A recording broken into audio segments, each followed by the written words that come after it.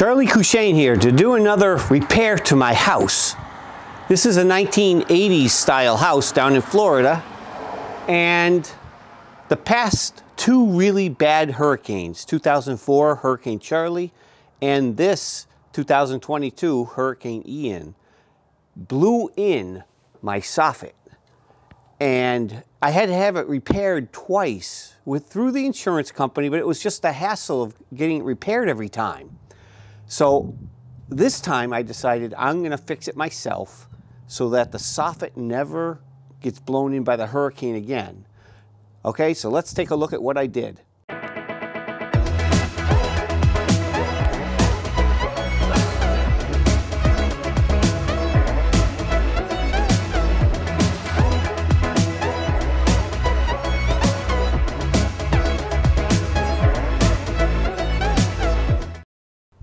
The soffits on my house are an oversized 24 inches and just being held on the inner and outer edges leaves them susceptible to hurricane damage because it flexes in the middle and then pops out and then they blow away. So I'm going to stop that on this build.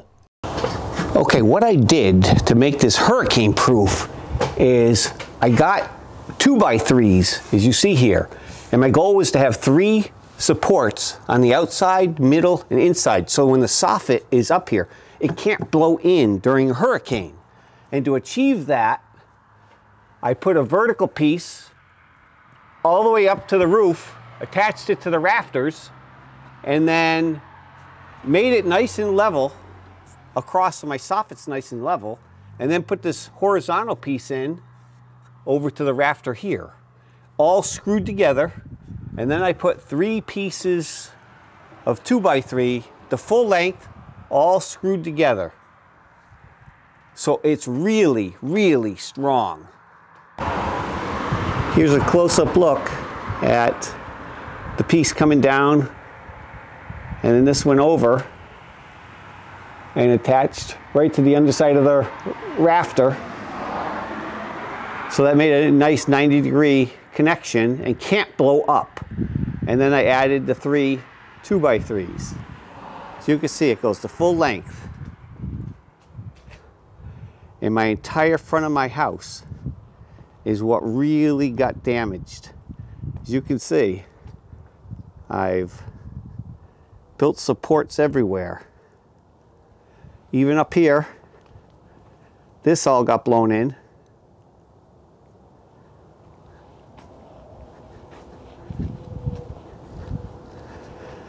So did all this.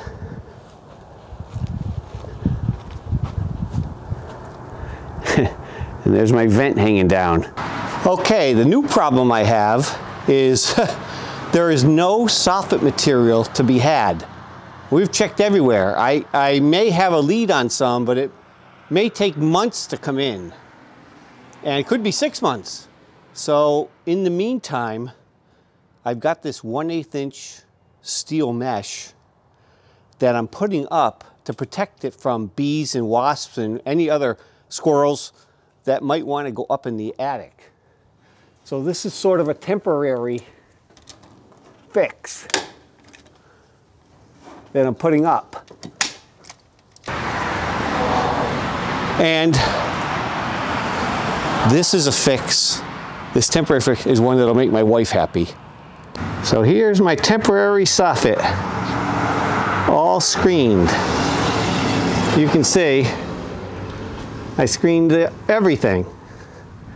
And the beauty of this screen is it's thin enough I can uh, leave this on if I wish when I actually do the soffit. So I'll show you when I get the soffit. Okay, I started the task of putting up the siding. I did in front of the garage. And let me give you a close-up of how I'm doing it. You can see in the corners I'm doing a, a double V. I just take two pieces of the J-channel, put them back to back. So that's how I'm doing the corners. And then I am ripping down screen that I put up. This comes right down.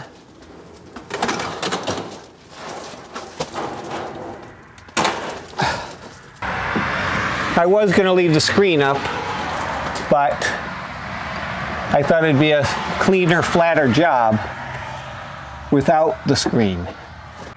Okay, the first thing you can see is I put screws everywhere, even in the J channel. So there's lots of screws, stainless steel, so it can't get loose. Okay, I'm in my wood shop using my miter saw to cut the soffit and I purchased a Diablo aluminum cutting blade for the miter saw. 12 inches, 96 teeth. But before I actually cut, um, every once in a while, I get this STICK-KUT and I put it on the blade. So I just give it a little spin and when it's slowing down, here you go. That helps preserve it for longer. And since every one is the same, in this instance 23 and a quarter, I have my stop set and I just give it a cut.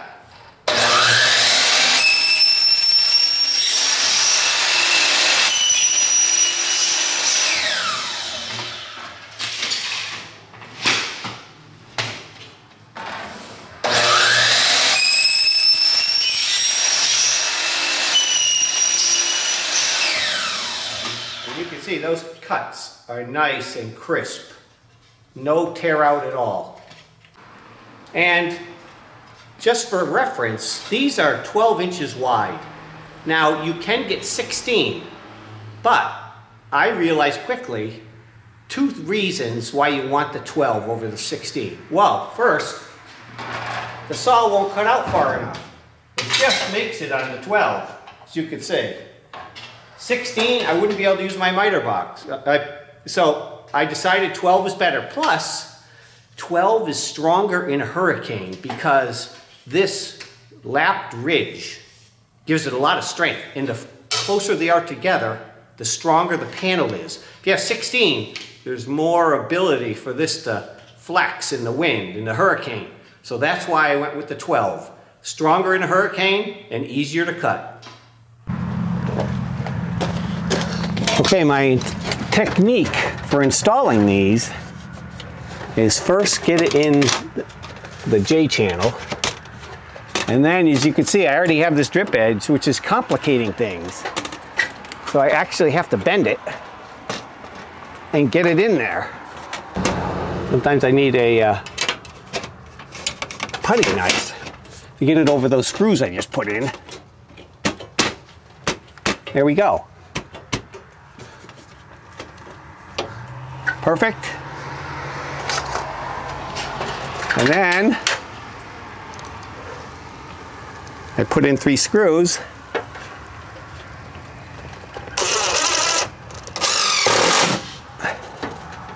And that locks it in.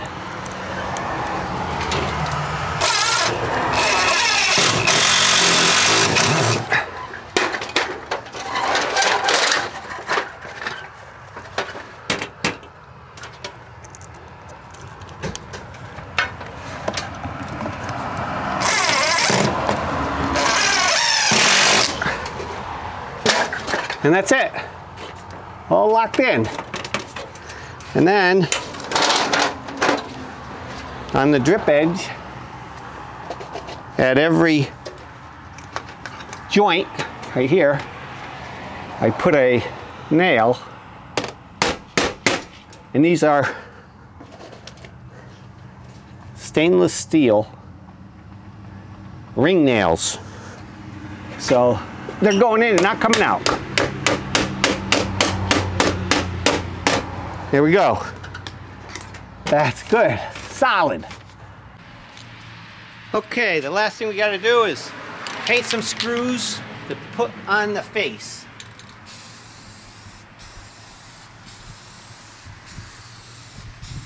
hundred and ten screws. 110 feet. Okay, one more little detail now that I painted the screws, they're gonna go right in the middle here, one per panel. As you see, right here, this is screwed down really good, three places, so it'll never go anywhere, but this side just slid in. And I'm afraid in a hurricane, vibration, see this panel? It's wiggling. So what I'm doing is putting one screw right here. I'll show you. And it pulls it nice and tight. I have my stick for the correct measurement. That's right in the middle on that brace I put in there. Here we go. Solid as a rock. Solid there, solid here, solid here. So it's really held tight now. That is hurricane proof.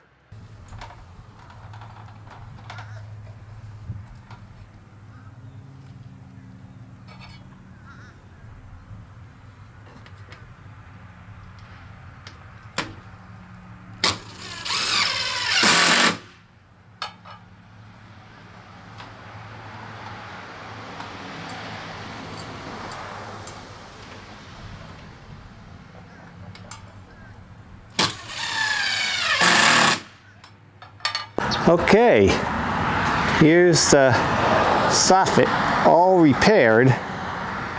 It came out beautiful. I did all the way around there. Then I had to go up to the higher elevation around the front door.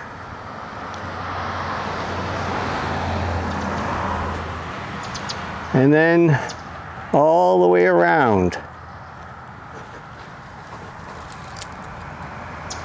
So it came out great. I'm really pleased with it and I can guarantee this is hurricane proof. If you've enjoyed this video, please remember to like and subscribe for future videos.